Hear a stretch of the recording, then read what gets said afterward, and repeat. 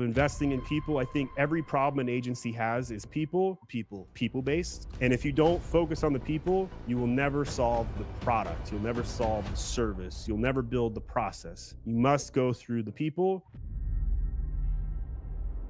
Steven, you are very big on the right person being in the right seat. So when you do your hiring, it doesn't usually happen 100% of the time, right?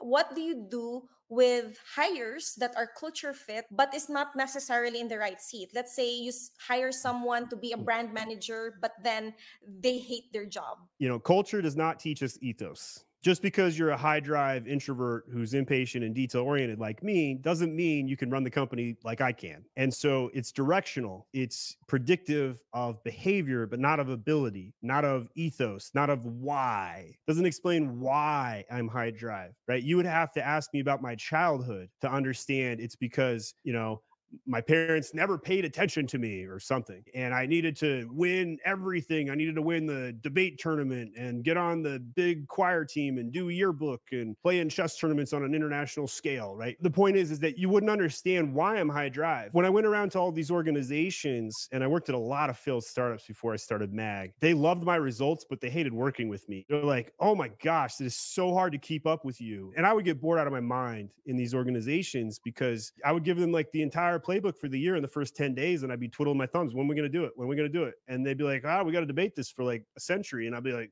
no, we don't. I'm right. Let's go. So recently we, we had a brand manager who was suffering. The clients were churning. The staff was revolting. You know, I tried to fix it. I tried to switch the team up just to make sure, you know, maybe it's the team. Nope, it wasn't. It was the brand manager. And I was like, but uh, man, this, this person is so talented. I really don't want to give up on this particular individual. So I said, where could I see them working out? And I was like, man, this is probably the biggest Excel expert I've ever met in my life. Let's go put them on the IT team or business analytics or something and see what happens. It's exactly what I did. And it started working out very magically. Now, obviously, without an IT background or programming experience, there's all sorts of downsides to doing this, but I was willing to take the chance and make the investment.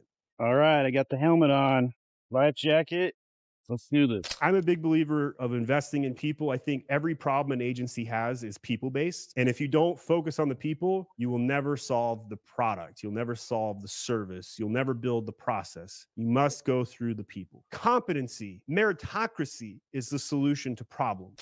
At my Amazon guy, we are literally just hiring for competency. That's it. Skills that immediately help lift my company up to excellence. I don't care what country you live in. I don't care what your personal race is or preferences of any kind. If you can win, if you can compete and learn my processes, you will be successful in my systems. And I'm not going to cater to any sort of political pressure of any kind because I'm going to be obsessed. I'm going to be relentless with what I believe. And I know that it works, but it's much easier to put a person who will be happy to be themselves in a role. The success rates just go sky high. Like we're talking five, six X, way better by putting somebody natural in their natural habitat. First thing I'm thinking of is like you could put an alligator in Georgia, could happen, but I bet you it'll probably be happier down in Florida. Put the animal in its natural habitat, more likely to succeed, more familiar with its programmed DNA. That doesn't mean you can't introduce the honeybee to North America and see the whole continent flourish with it. You're very transparent in your LinkedIn, in your YouTube videos that you love hiring Filipinos. Why is it majority of MAG? Why are you hiring Filipinos? Filipinos are amazing. You guys are articulate.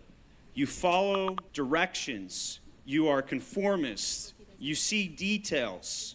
You are the ability to deliver non-stop. That's what you guys do. And that's what an agency needs in a company, in a culture. How would you address or how would you talk to a client who would say, Steven, I don't want to be outsourced? I want my team to be solely local in the US. Sure, no problem. Let me charge you two and a half times as much. Is that okay with you? And everybody says no. But I could still get you the same results if I charge you two and a half times less. Does that sound good? Usually they say yes.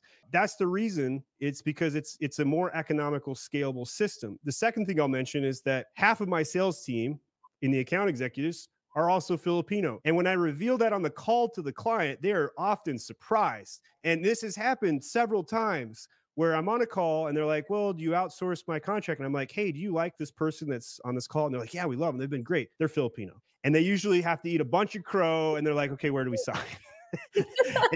and they're always surprised by this. We don't just hire any random person in the Philippines, we hire the best, the talented people of the Philippines. And they have some really good talent over in the Philippines. You guys are easy to work with. And culturally speaking, I'm tied to the hip with you. I don't want to go to another country and an established base. I'm here. I'm in the Philippines, and I'm here to stay. There is some amazing people over there that are up and coming, eager, hungry, capable. They have a good computer, they have good internet access, they're technical, they understand how to think, they're problem solvers. They know how to follow an SOP. That's a key ingredient to success. A lot of our brand managers will be, you know, North American. We have a lot in Mexico and the United States, other European countries, but almost exclusive 100% of staff that's tactical is out of the Philippines. And we find that is the best way to make a profit. We have one of the most profitable agencies, and it's also the best way to serve clients because I can put more resources on the account for less money. And that means better results. And clients love that stuff. Brands want to grow. They don't come to me and say, Hey, I want you to talk to me all day long. They say, Hey, can you grow my sales?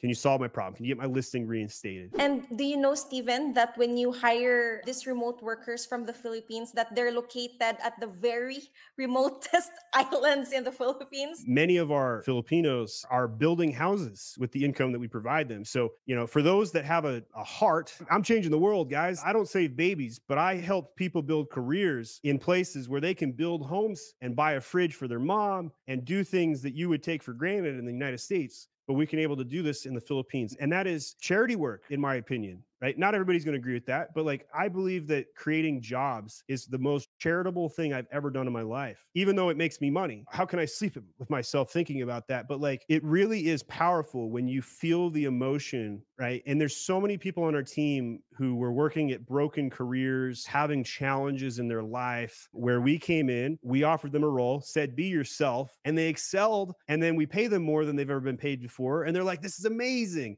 and their life changes and you're just you're a part of something magical that's so rewarding to me as a company owner and a founder. I'm a good example of that steven because prior to me working with mag i was very worried because i'm not sure if people would know this because i don't really share a lot about my private life but my oldest son is in the autism spectrum and i thought that when we found out I, am gonna be a stay at home mom forever for me to support my son and to join his therapy sessions i really didn't expect that you know i could continue having a career while being a good mother to my children and being a good wife to my husband at the same time. So even if i work nights to be honest this works for me because everyone is asleep and when when they wake up I'm still there. So they don't you're feel a, that I'm working or that I'm gone. you're a super mom, first of all. God bless what you're pulling off. But I also believe it's possible that other people can do the same thing. Like I personally believe you can be prosperous in all things family, career, spiritual. Roxy, it was um, admirable to hear what you did for your church. It's great to see your impact on your family because you're, you're able to be around. These are life changing events that you've experienced. This is the norm at MAG. It's not the isolated case. It's like you could talk to a random person at MAG and they will share a similar story to this. They'll also tell you MAG is the hardest place they've ever worked. and, and they'll, they'll explain, but I love it because I'm learning in dog years. It's like for every day here at MAG, it's like seven days somewhere else. And there's just so much resources available. But we do require a lot in commitment to that. And we put a lot of pressure. Um, so there's a trade-off, but it's one that people happily pay. You can apply at MAG. Just go to myamazonguy.com slash jobs, or maybe you dropped out and did sales door to door